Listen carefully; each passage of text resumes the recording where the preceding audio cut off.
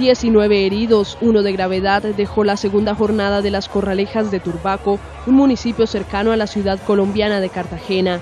El tradicional festejo taurino contó con la presencia de unos 30 toros criollos de media casta que salieron al ruedo en medio de la aclamación de los asistentes y al paso del cual también salieron los espontáneos diestros que expusieron sus vidas para tratar de torear con cualquier objeto que tuvieran a la mano. La mayoría de las personas que salieron al encuentro de los toros estaban bajo los efectos del alcohol. A la par de estos espontáneos e inexpertos toreros, en el ruedo hubo manteros, capoteros, banderilleros, paragüeros, picadores y vaqueros. A diferencia de la lidia profesional, aquí se le respeta la vida al toro. Según algunos turbaqueros, se intenta no maltratar al animal, al contrario del toreo tradicional.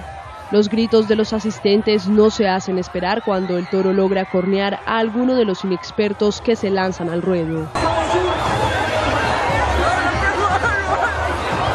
Sin embargo, todas estas festividades con actos taurinos en Colombia están en choque con múltiples organizaciones defensoras de los animales que presionan para que se apruebe una legislación permanente y nacional que prohíba cualquier tipo de maltrato animal.